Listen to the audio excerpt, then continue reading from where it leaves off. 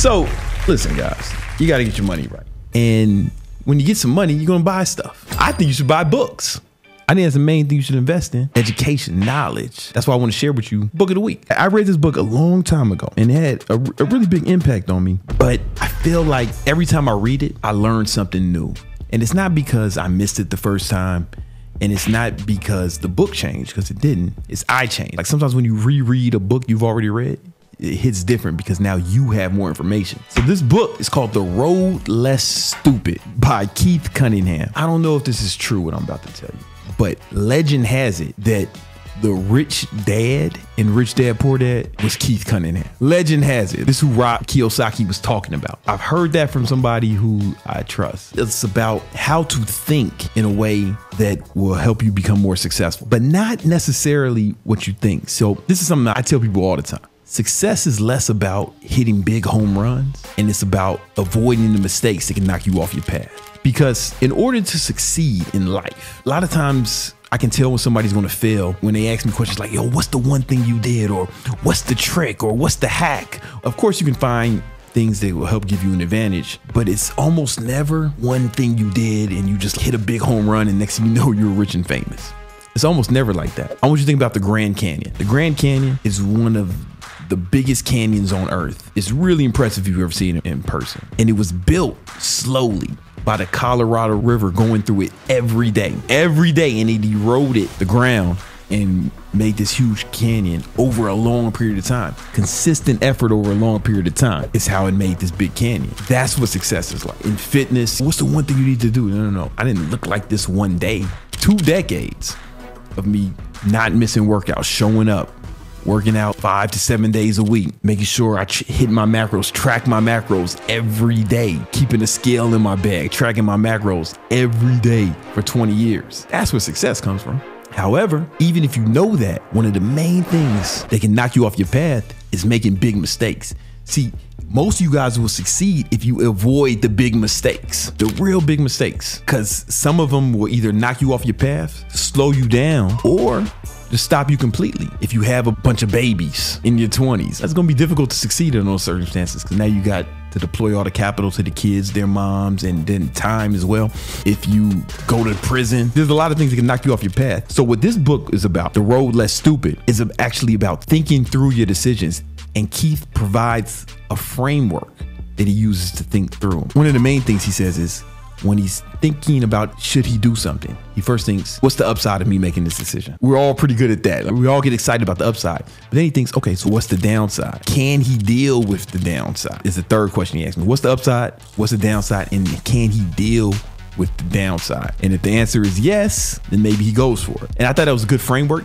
I kind of modified it for me. I don't have to think about what the upside is because I wouldn't even be considering it if it wasn't an upside. I think what's the worst that can happen? The absolute worst that can happen if I do this. Can I handle it? What can I do to prevent that from happening? It's a framework I call offensive pessimism. If you watch the video with me interviewing Ryan Holiday years ago, I gave him the framework of offensive pessimism. And I said, Ryan, you can put that in one of your books.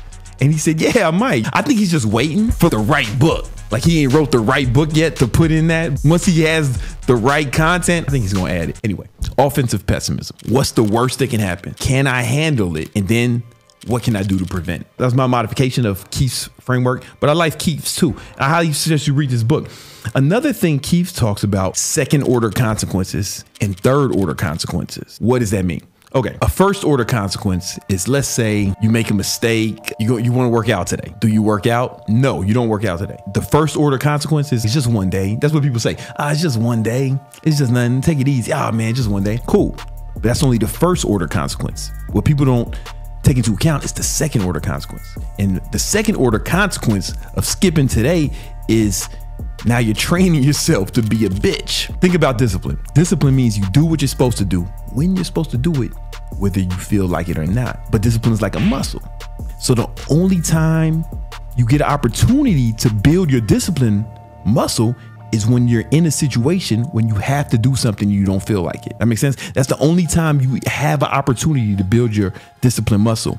And if you squander that opportunity and don't do it, yeah, in isolation, first order consequence, it doesn't really mean anything. But the second order consequence is, oh, you're not building your discipline muscle. Ah, but you're building something. You're building your bitch muscle. Because when you're supposed to do something, you don't feel like it, and then you don't do it, that's not being a G. If you're not a G, then what are you? That's right, a bitch. You're becoming a bitch because every time you do something, it becomes easier to do that thing again. Being a bitch is habit forming. And when you don't feel like working out today and you say, fuck it, I'm not gonna go, the second order consequence is, oh, now you've made it harder to do what you're supposed to do when you're not supposed to do it because you've literally trained yourself to be a bitch. And God forbid you do something fun instead of going to the gym you play video games or jerk off or something and you reward yourself for not doing what you're supposed to do, now you're reinforcing negative behavior by giving yourself a reward. That would be like if the dog shit on the carpet and you gave him a treat for it and started petting him. That's exactly what you do to yourself. That's the second order consequence. What's the third order consequence? Oh, next time you don't feel like going to the gym, guess what? It's gonna be super easy for you to just not go because you trained yourself. Not only did you train yourself, you reinforced it with a reward. You know what I'm saying? There's fourth order consequences. You fat. That's the, been the story of your motherfucking life. That's why you're not in shape now. You thought that one time, oh, I can take off today. You didn't think about the second order consequences, the third order consequences, and you're living the fourth order consequences of fat motherfucker. Everything counts. That was just an example, as elaborate as it was. But this is how you need to think about decisions each day. And Keith's book is one of one of the best books on the subject of actually how to think like a successful person. You know what I'm saying? Here's his Keith's framework. It's what's the upside, what's the downside, what can go wrong. We, most people fucking losers never even think about this shit because they're dummies. And can I live with the downside? I add the second one, what can I do to prevent it? But hey, Keith's got more money than me, man. So maybe you should listen to him. I just thought this was a good quote. He says, yeah, I was on a plane, so excuse the bad fucking image. But business is an intellectual sport. We make the mistake of believing we can somehow get rich or become successful by being passionate enough, wanting it desperately enough, visualizing it enough, believing we are entitled enough, being talented enough, or working hard enough. It doesn't work that way. Passion and desire might produce willingness to persist, but do not teach us the skills and the tools needed to create success. The advice and book, Do What You Love and Money Will Follow, is as stupid as it is destructive. It's the same as saying, eat what you want and you'll be skinny. Fucking bars. I mean, he talks like a cranky old man sometimes. And I like that because that's what I'm evolving into. That's my final form, cranky old rich man. This is something I, I live by. All choices require a trade off and a sacrifice. You can have almost anything you want, just can't have everything you want. Life is a game of trade offs. You want a great family, probably can't be an international playboy at the same time. You want to build a great business, you're probably not going to be the best video game player ever either. You know what I'm saying? You want to be in great shape, you're probably not going to be able to eat fucking cake and candies every day. Life's a game of trade offs. And It is something I think about all the time. But here's the thing about sacrifice and making trade offs it's a trade off either way. Because if you don't sacrifice for your goal, then your goal becomes the sacrifice. So you're gonna make a sacrifice either way. There's a trade-off no matter what you do. If you want to play video games all night, that's cool. You're sacrificing something that you could be doing to move yourself closer to your goal. And if you decide to do something closer to your goal, then you're probably sacrificing video games. Or that's just an example.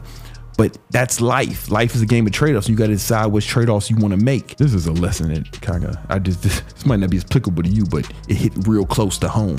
Business success is depending who you hire and who you don't fire. Yeah, that's a lesson I learned learned the hard way. I don't know. I can't speak highly of this book enough. I think you all should get it. The link is in the description. I have the physical book, but I also have it on my Kindle. That's how you know I like a book, man. Go ahead and check that out. The Road Less Stupid by Keith Cunningham, who might be legend has it the rich dad from Rich Dad Poor Dad.